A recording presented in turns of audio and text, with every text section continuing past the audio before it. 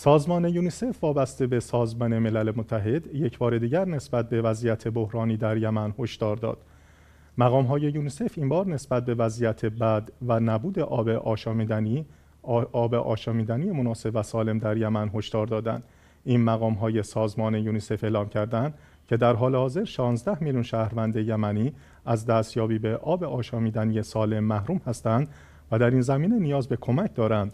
به گفته این مقام ها عدم دسترسی به آب آشامیدنی سالم به منزله انتشار بیماری های ویروسی و وبا در میان شهروندان یمنی است بر اساس اطلاعات منتشر شده از سوی این مقام های یونیسف تنها یک سوم جمعیت کل کشور یمن به آب آشامیدنی سالم دسترسی دارند و بقیه شهروندان علاوه بر آب آشامیدنی از بهداشت هم محروم هستند.